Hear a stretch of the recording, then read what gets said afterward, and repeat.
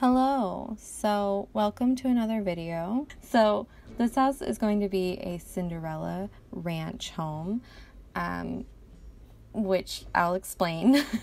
but this house is also based off of a real house. I found the photos of which I created a floor plan myself in order to build this in The Sims.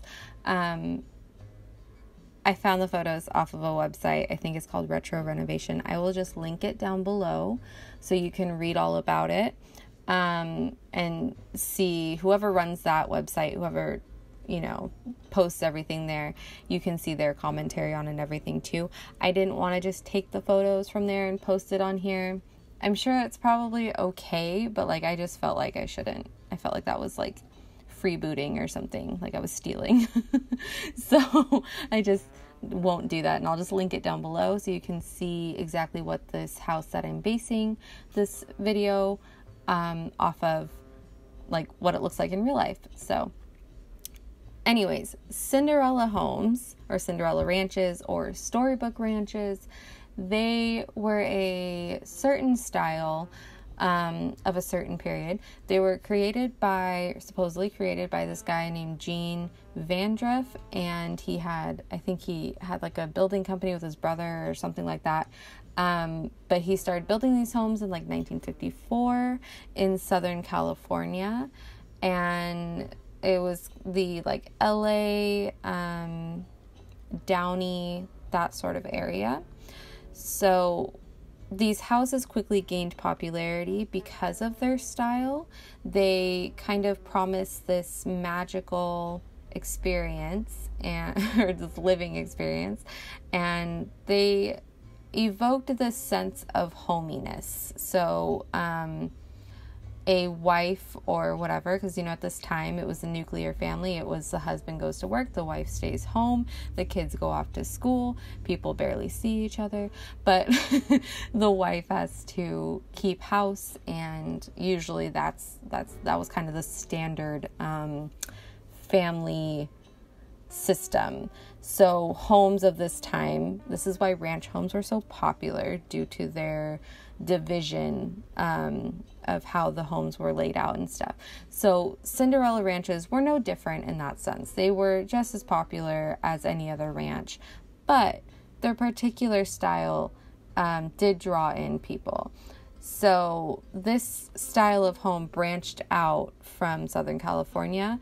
So, the actual company that Vandruff had started, they did make homes for a period of time, um, I think about a decade or so in this style and they spread to like New Mexico, Nevada, and the surrounding areas.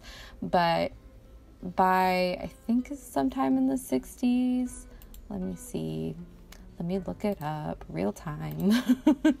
um, they went out of fashion basically because the shaker or shake shingle, shake roof, whatever it became illegal in the 1960s.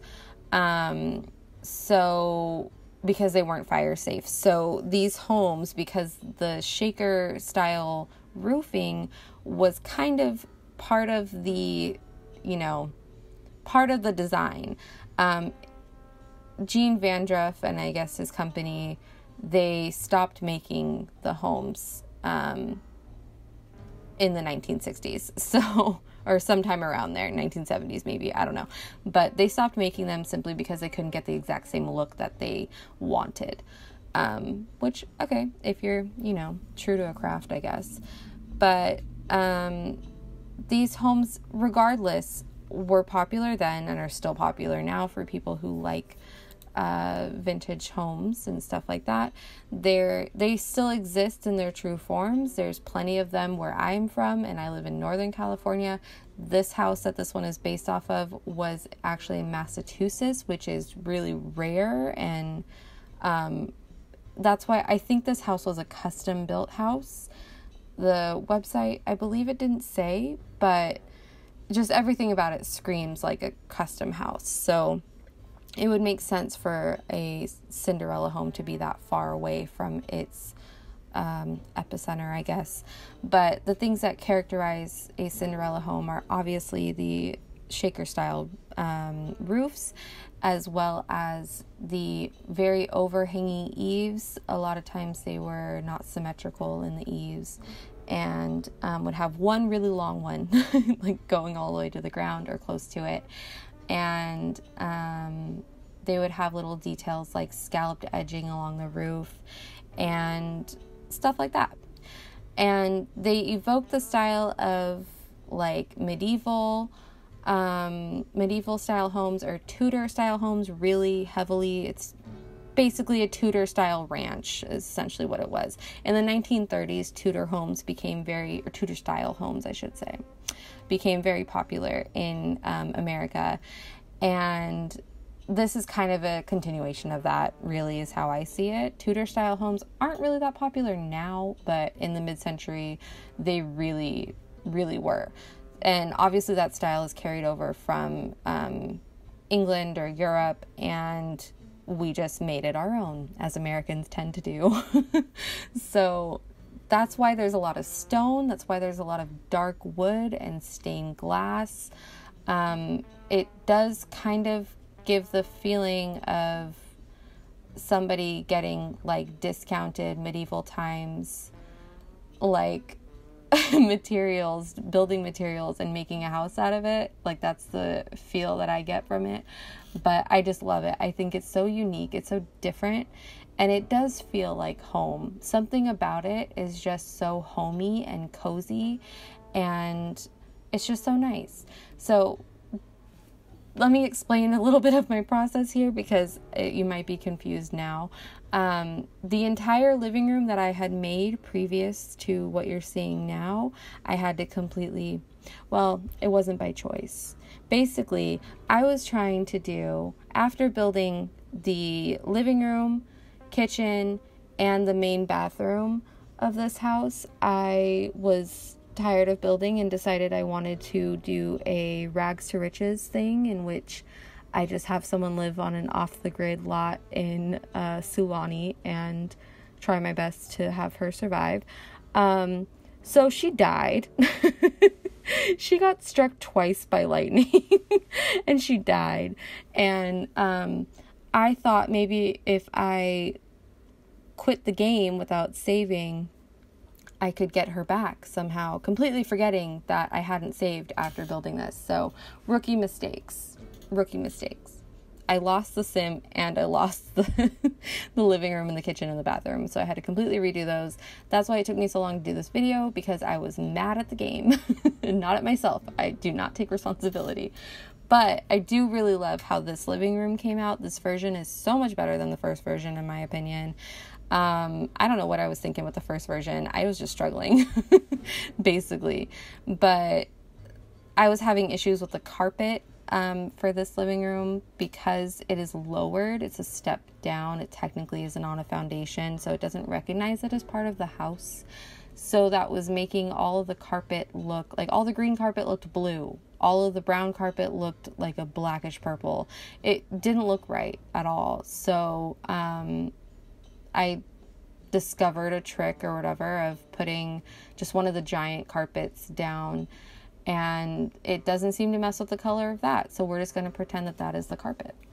and it's like the perfect shade of green. It matches the original really closely. So yeah. Um, this house is just, it's super weird, and I hope you're getting that from this video, but it's super weird. It's got so many rooms, and I don't know why, but I think this house was basically just built for entertaining. It's like you have so much space to have people over. You have so much space to have like kids' friends over, you know, and this house would be like the best house to have a giant sleepover at or a giant party at. Like it would be cool.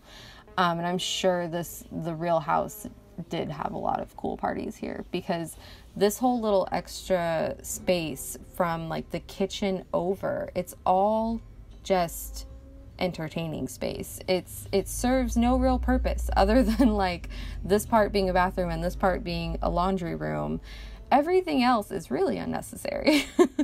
so, um, this little space right off the kitchen, I don't know what it was originally intended to be. I don't even think the um, website that talked about this house knows exactly what it was supposed to be, but I just made it kind of like a, a homework spot, is like what I was thinking of it as. Like, you would just go here and do your homework or something. That's why it's just crappy folding chairs, but like, I don't, I don't know. I really, I would love to hear some other idea of what to do with this because I just didn't want to do another living room.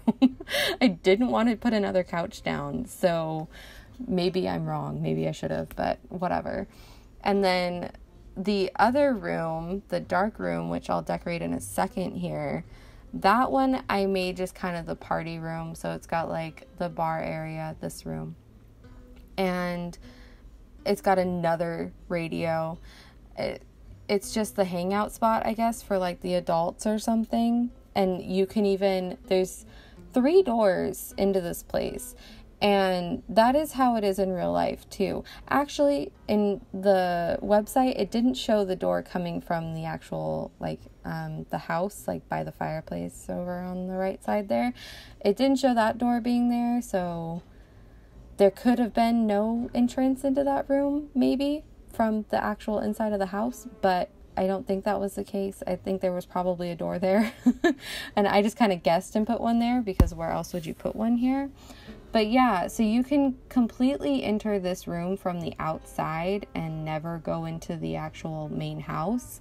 So um, I definitely think this was like the party room of the actual house because why else would you need that? Why else would you need two like a two different doors from the outside going into it, you know? People sneaking out late at night, don't want to bother the rest of the house. You got kids sleeping, but you're partying. I don't know.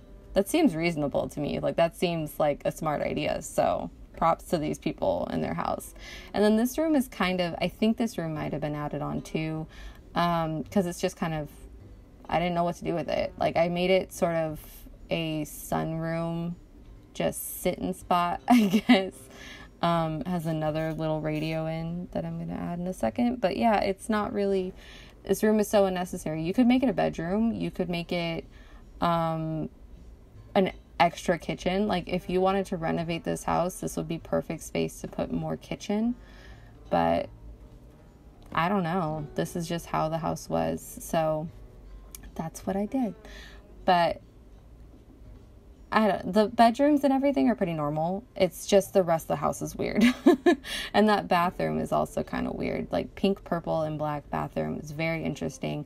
And I also thought that it was interesting. That is the master bed bathroom, um, as well as the main bathroom. So the other two bedrooms that are across the hall, that is their main bathroom as well. Um, so it's kind of interesting it's a big bathroom, so I guess it's fine, but it's kind of interesting. They have so much space on like the rest of the house, and then they're just like, oh, we only need one bathroom over here. It's okay. but um, you do have a little half bath on the other side, which in the real house, it is a full bath. They fit a shower and like a corner sink in there. I really wish we had corner sinks in The Sims. Speaking of things that I wish we had in The Sims, I got one of my wishes. As I'm sure, like anyone, you know, who keeps up with The Sims knows by now, we now have configurable stairs. So I can make use stairs, I can make stairs that turn a corner and have a landing on them. And that is so exciting. Like the prospects of, you know, craftsman homes, Victorian houses. Oh my God, I didn't even think about Victorian houses. Wow. Yeah, like craftsman homes and just small homes in general being able to have staircases like that is game changing. I can't believe it took so long to get into the game, but I like how they did it too. It's pretty easy to use and pretty easy to figure out like the controls for how to make them.